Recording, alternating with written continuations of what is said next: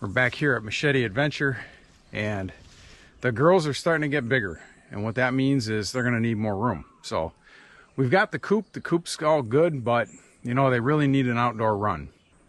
I really don't want them to free range because we have predators around like hawks, such dogs. We're gonna build this uh, outdoor run eh, kinda on the cheap, I guess. Um, you know, we're gonna repurpose, um, we took some old fencing out before we put the nice wooden posts with the barbed wire. We took out some old cyclone fence and uh, we kept the pipes. So we're gonna reuse those pipes and we're gonna use those as our perimeter. And then we're gonna put up some uh, some fencing and we're gonna end up putting uh, a net over the top uh, to prevent uh, hawks from dive bombing in and and taking chickens. So, um, but this is the start of that, and we're going to be driving in some posts and uh, you know getting our perimeter set up. All right, so for whatever reason, I lost the footage of me hammering these things in. So about three quarters of them, I had to break the concrete off that was on them. See, I'm not kidding you. Here's some of the concrete that I popped off. You can see where the pipe was laid in there. So I had to take a sledgehammer and bust it off uh, from when they come out of the ground. So all I did was uh, I took these posts, I hammered them into the ground.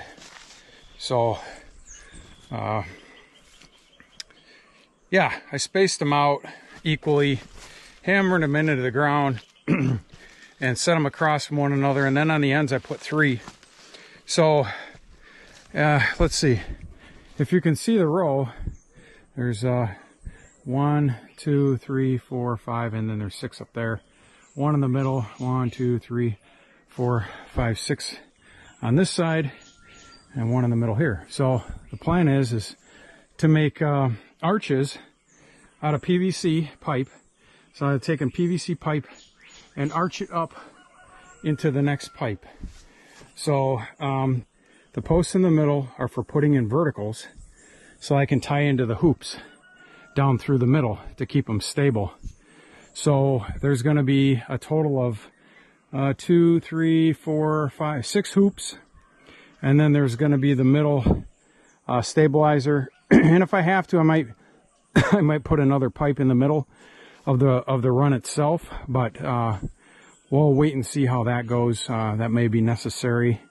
Um, but for now, and then the fence will go around the pipes, all the way around them.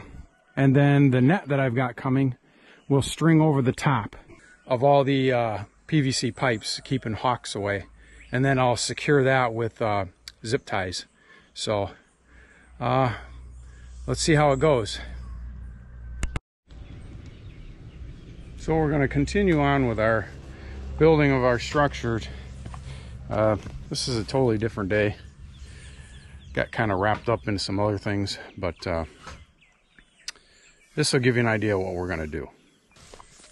So as you can see, I'm taking PVC pipe, making a hoop, and there's going to be multiple hoops from pipe to pipe. And then they'll interconnect and that's how we're going to build this uh, outdoor chicken run. So let's get after it.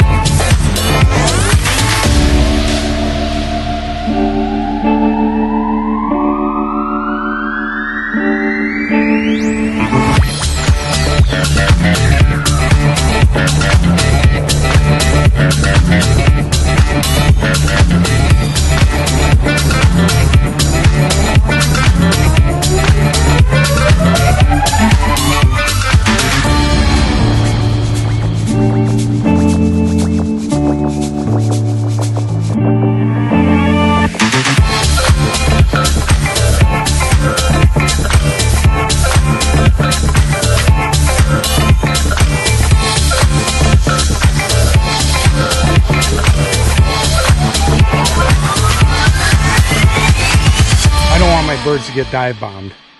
And so what I did is I built an outdoor run for them. And it's all made out of a uh, combination of leftover materials and PVC pipe. So leftover materials would be the pipes that we took out when we put in our original wooden fence with barbed wire. This was old cyclone fence posts.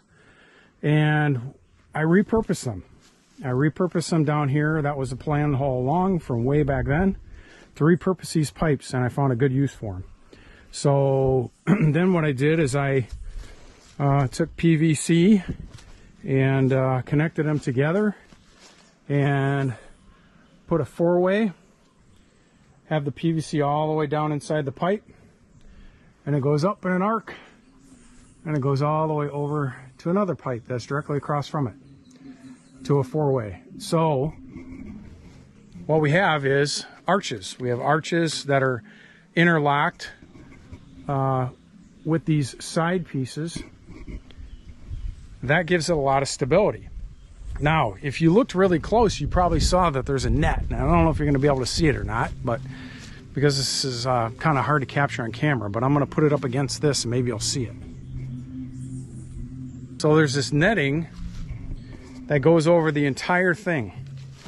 And that will keep predators from being able to dive bomb my chickens. I don't want to sacrifice them. So uh, the fence is more or less just to keep the chickens in. It's not really to keep anything out other than maybe dogs.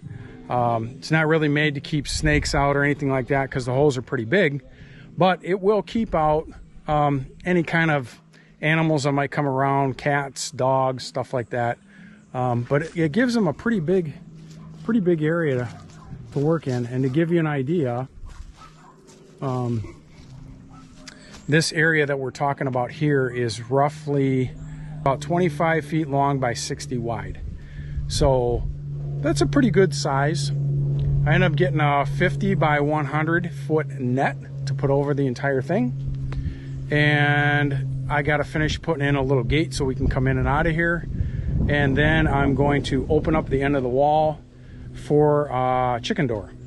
What do I have left to do with this outdoor run? Well, I've got to secure this net to the fence and I got to secure the fence better to the posts because right now it's just kind of up there. It's not all the way secure.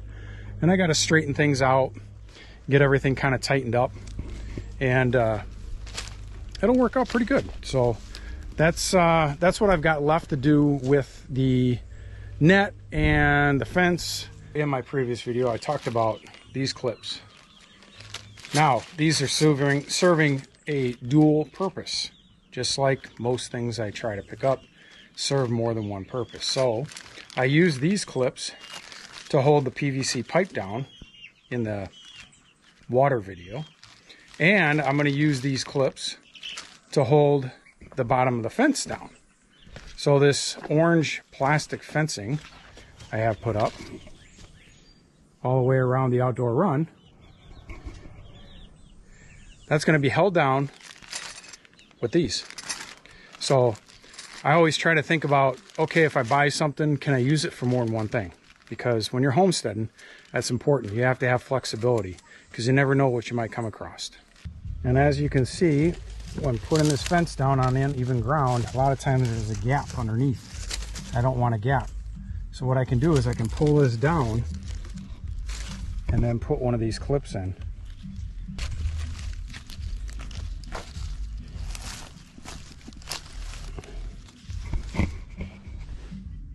Nice and tight. All right, we're back down here at the coop again.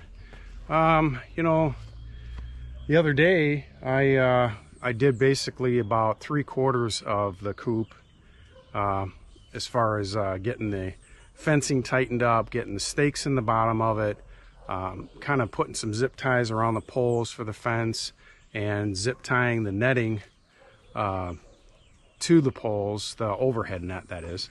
Um, and today, we're basically, just going to continue on uh, doing that. So I also want to talk about um, what we're going to do for a door here at the end of the coop um, to let the chickens out. Uh, so let's take a, a quick look at the end of the building here. Okay, so right now you can see the end of the building's kind of in a disarray. Um, we got the orange fence is just kind of laying there. We got this pipe to nowhere, which I don't think I'm actually going to need. And you can see the girls are watching me. Um, but we're going to come out right about in here on this end of the building. We're to end up cutting a hole in and putting uh, a door so they can come out into this area and run around and forage for bugs and all kinds of stuff that they love. Um, so we've got a kind of a plan on what we're to do for a door. And then right here, where I'm currently walking in, is where we're to end up putting some kind of gate so that we can walk into this area and uh, access it in case uh, in case we need to come in here um, or if we need to kind of shag the chickens back to the coop because uh, when we first let them out here they might they might not want to go back in right away or whatever at the end of the night so um, but we'll see. You know after a while they'll get used to it and uh, they'll they'll kind of see themselves back in. We can close that door um, so this will be a nice area for them to be out running around in uh, there's all kinds of vegetation growing and bugs and you know, lots of places to scratch and tear things up. There's a nice shady area in the outdoor portion uh, underneath a citrus tree down at the end of the outdoor run. And uh, I'm sure they'll get a lot of joy out of uh, going to that area. Um, but plenty of sun, stuff for them to pick at. They're going to love it. All right, so what you see here is basically I have zip tied the fence to these uh, repurposed poles and there's this black netting behind it.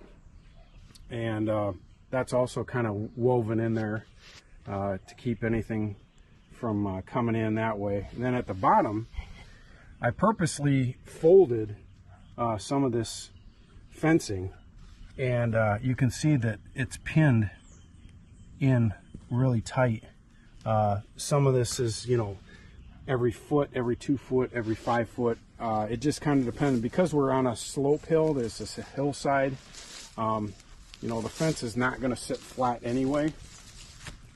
So I thought right off the rip that I was just going to uh, basically fold down the bottom edge of the fence a little bit and then uh, put the pins in so that you can see there's a pin there put the pins in to hold that down so that this is more or less just to keep the chickens in. We don't have deer here, uh, so that's not a concern. Um, you know, hawks are probably our main predator, I would say.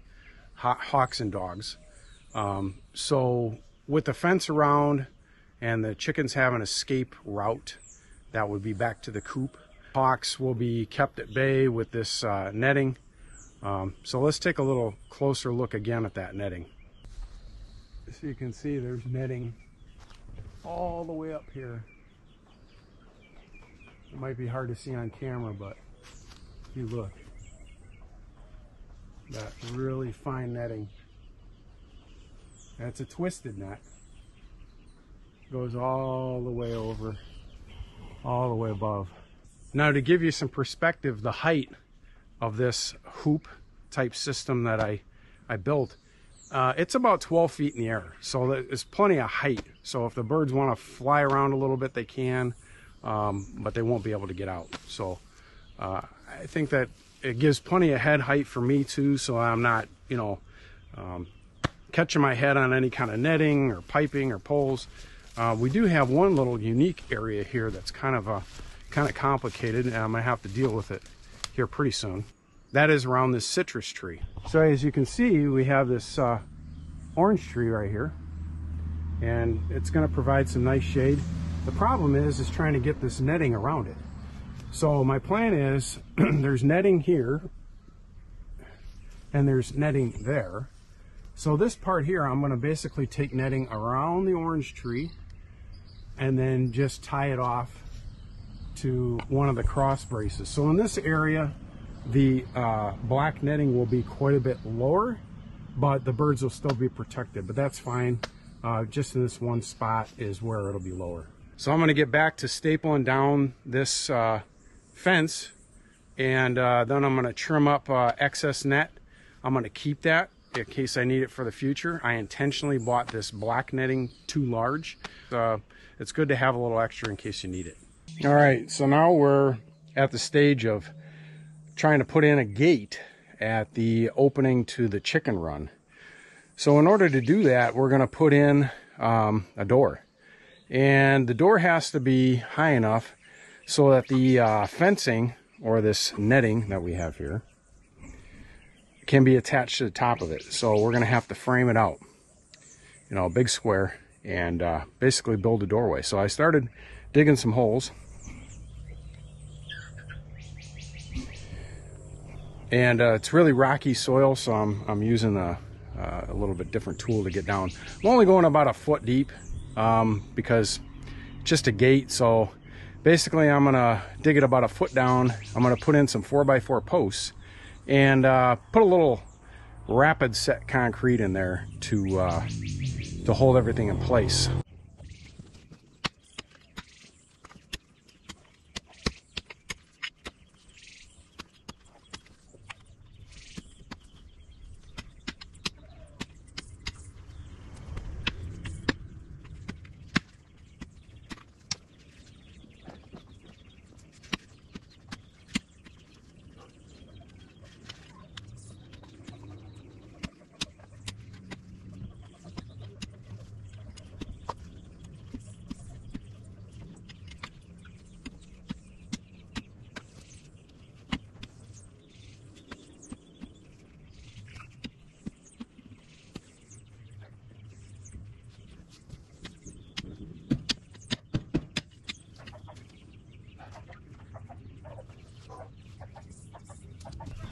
All right, here we are back down at the chicken coop again, and we are installing uh, just a, a, handmade door today. We uh, put some posts in, uh, kind of made a frame, created a door, and we're going to be setting that into place today. So let's take a look at this uh, frame. I'll talk about it a little bit, and uh, it's real simple. Uh, again, this is chicken coop run door, so nothing too fancy. Okay, so we've got our uh, 4x4 posts set in to some concrete, dug down, set those in, cemented them in, and uh, you know, it's kind of a an odd shape here. I wanted to put this 4x4 way closer to the corner of the building, but I couldn't. Um, this is existing structure, and there was a lot of concrete uh, around the base of this, and I wasn't going to sit there and jackhammer it for days. So I decided to move the post out a little bit where I could actually set it in. And dug down, got it in. Uh, you can see I still have the concrete forms on. Those are going to come out today. And uh, yeah, it's just 4x4 posts squared up, uh, cut off at the same height. And then I took a 4x4 post across the top. And the reason why I did that is because I had to have a place for the netting to attach. Um, so the netting uh, just needs to be trimmed off a little bit. And same thing with this side. Got 4x4 posts set into concrete. This side's a lot tighter to the uh, recycled, repurposed uh, old cyclone fence post. And uh, yeah, today we're going to get a door up in here. And shouldn't take too long. Just uh, squaring it in the hole, uh, setting in some screws, and then having to put in a put in a jamb after I get the door all lined up and uh, kind of screwed in to see where the jamb needs to be. So let's get it done. Okay, doors installed. We got the gaps. Uh, they're pretty good. Hardware's on, door latch. Everything's together. So we just got to add a little bit of fence right here to block this in and then uh, stitch something together over here.